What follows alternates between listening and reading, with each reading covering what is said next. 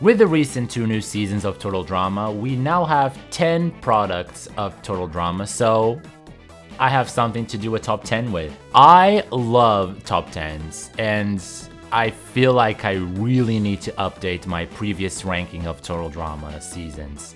If you haven't watched that video yet, I recommend that you go back and see it, because I will be referring to it a bit in this video, so yeah, that. Let's not spend too much time here, let's just get on with the video. I got one of these things. Better, oh, better audio for you. Always thinking of you. Was just about done with that USB mic. For my number 10, I picked Total Drama All-Stars. After all my constant rants on this season, I feel like I have said all there is to say about Total Drama All-Stars. My exact thoughts were all consummated when I did my 10 years of Total Drama All-Stars video, so if you really want to hear my opinions, I suggest that you watch that one. So for this video, Total Drama All-Stars gets a freebie. For my number 9, I picked Pahkitew Island. Okay, so this season is definitely a doozy. The cast felt absolutely uninspired, and the season felt absolutely pointless. I already made a video on this season that explains it all, I think, but I can say it here as well. This season was not inspired in any sort of way. Jokes were way too lighthearted and seemed to be afraid of being funny. They've resorted to Mud actually being shit jokes four times in total this season, and not a single character was good, even the ones with potential.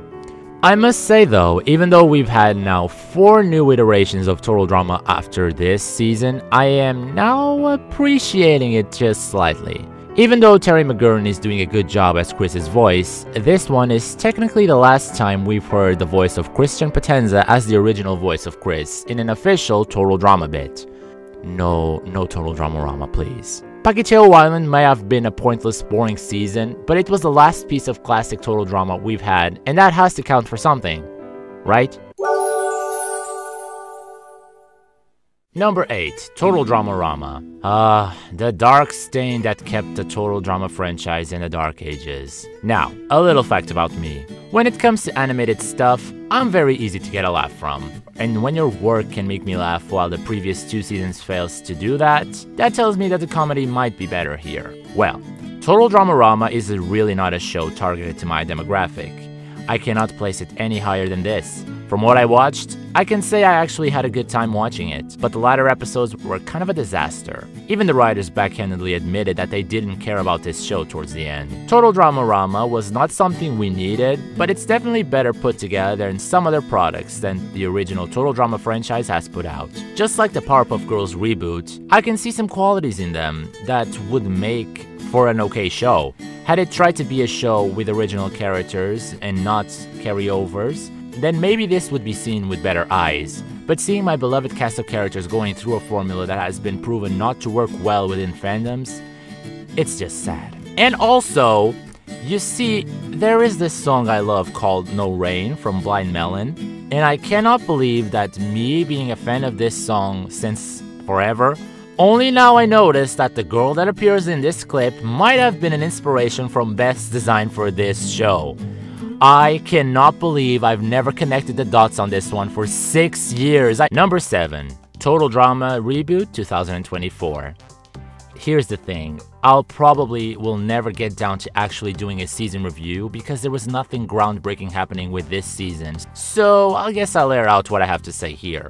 When you compare this season to its ancestor, you can see a drop in quality in terms of narrative. While season 1 of the reboot favored the competition aspect of the show, this season just felt like the million dollars was an afterthought. There was a lot of spotlight placed on characters that had no need for spotlight, and inevitably, this results in other characters getting the shaft. The Priya and Caleb plot stretch even longer than Zoe, Mike, and Mal, and even though this is covered by how great her relationship with Metal Knight is, having Julia being the root of all evil this season was such a pain. There wasn't a single bad thing that happened this season where Julia didn't have her hand on. It was just a whole caboodle of wasted potential and missed opportunities with this season. But it's not to say that the season was bad. At least there were good moments with the show, here and there. Total Drama Island Reboot 2024 sits on this limbo. It's not bad, but it's not good either.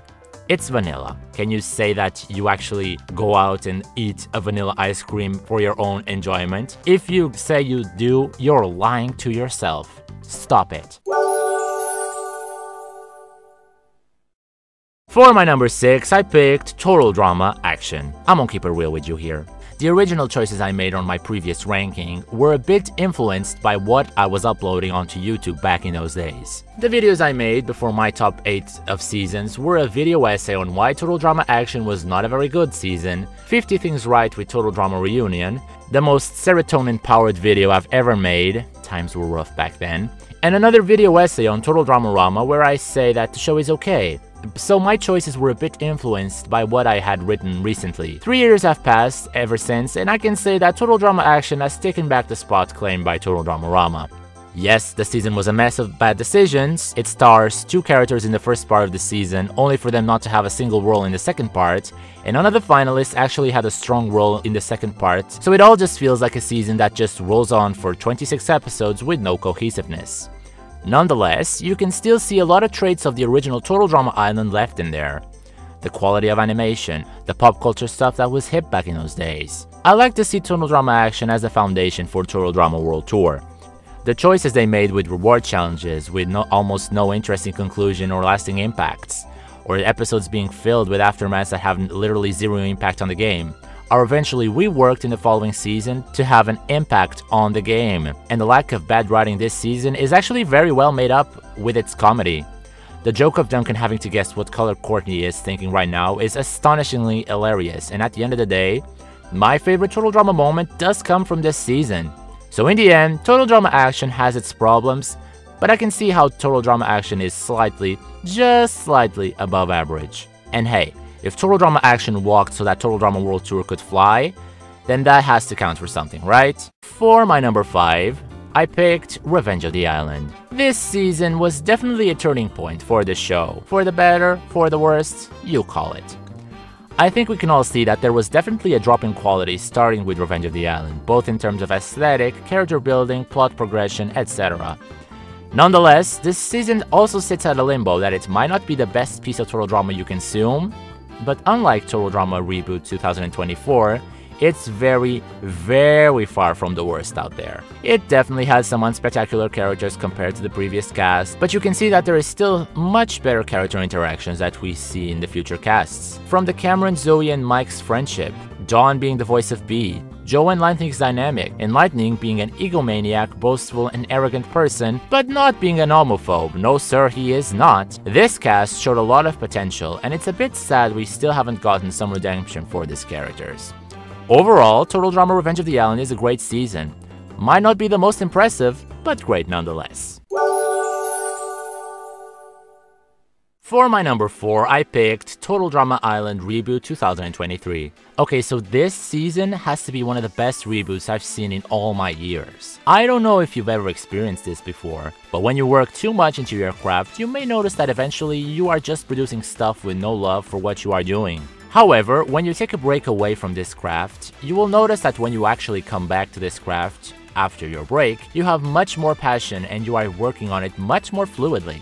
This was the kind of feeling that was transmitted with this season. Whoever is making Total Drama really needed some time away from producing it year after year. The rushness of it all was not ambiguous. In terms of why this season feels so good, is that they made some things in it that are actually kind of Hindi when you talk about the standard Total Drama season. This was the first and so far only season that did not have a love relationship being a strong focus in the story. There was Bowie and Raj that outright agreed to put it on pause for after the game, and then there was Emma and Chase that looked more like a comic relief interaction more than anything. Other than that, this season made something that is very reminiscent of the original Total Drama Island, which is that this narrative should be focused around that this is a game. Interactions in this season are very centered around the fact that there was a million dollars up for grabs. The characters show that that's what they are here for, which is something that feels like an afterthought with the Mal and Zoe plot in Total Drama All-Stars when you look at it, and I knew I could not resist taking a jab at All Stars, I just knew it. Overall, Total Drama Island Reboot 2023 was a great Total Drama season, and I have to admit, if this is the way they are heading with the franchise, I have to say the future looks bright. It's a shame that all the hard work and passion went clearly into this season because the following season felt a bit more rushed than this one. But hey, They had to write these back to back, so I'll look at this season as a shining example that if you give the creators of Total Drama some time, they will deliver a good show undoubtedly. And this was not the first time they showcased this.